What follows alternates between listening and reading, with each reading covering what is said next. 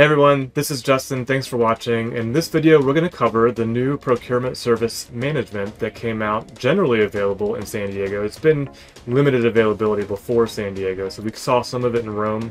Um, but uh, in San Diego, now anybody can get procurement service management. In this video, I'm actually going to show the shopping hub experience. So what you're looking at behind me is Employee Center.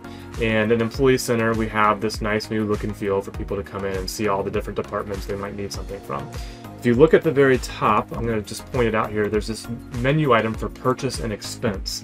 So if your uh, organization was to come in and do this, they'd be able to browse purchase and expense. And initially on this portal, what the experience is more like a, a catalog and knowledge article experience, right? So you can see I've got some different requests that I can make around buying something, canceling something, or creating an RFP or an RFI. Um, and these would be, you know, typical procurement activities that you need to work with procurement on. So nice form layout to ask questions. What are you looking for? What date do you need it? Is there anything else we need to know? Standard stuff that you might see in just a catalog.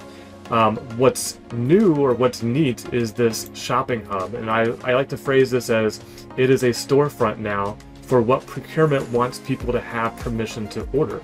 So um, in this case, I can see I've purchased in the past a, a, digital signage player, a tripod, a microphone, and I can just kind of scroll through the things I've seen. Um, I've got some suggested, suggested suppliers to actually purchase from.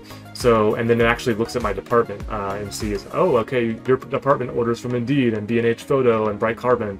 Um, you may want to look at those particular catalogs in order to order something. If we were to click on one of these, you can see all the things that might be available that's approved by procurement for you to purchase. Um, there still may need to be an approval to the cost center owner or to your manager or something.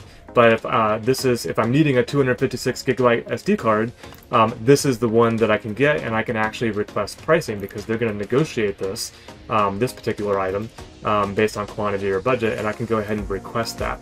Uh, so if you look behind my head there, I can specify, hey, I need a quote for this or proof of concept, but we'll just do a quote.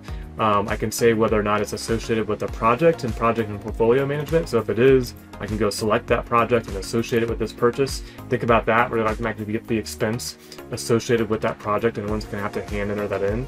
Um, I can give some justification for why I need this SD card. I can specify the quantity. I can specify how soon I want it and where I want it delivered.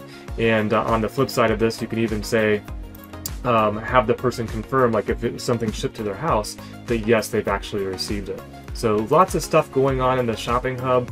Um, I'll show one more thing that I think is important. We'll just search for PDF here at the upper right, and uh, maybe I need some services, right? So I showed you a product actually searching for or looking for an SD card, um, but maybe there's something I need around services. So I can even have a front for the services themselves. Here's one for um, uh, an interactive PDF service from Bright Carbon. So I can say, hey, I've got a $10,000 budget uh, for this particular thing that I need, and I need to get pricing and info, and then we'll see that same kind of exercise there on the right-hand side to walk through that purchase. Um, so that's Shopping Hub, and that's one of the features of procurement service management. What I'll do in a future video is actually show the procurement specialist side. Um, there's a workspace and all that stuff, but this is what would be the business-facing or user-facing side um, experience from Employee Center and through the Shopping Hub in ServiceNow. I hope you enjoyed this video. If you liked it, please like, please subscribe, or share it with someone who you think might be interested. Otherwise, I'll see you on the next one.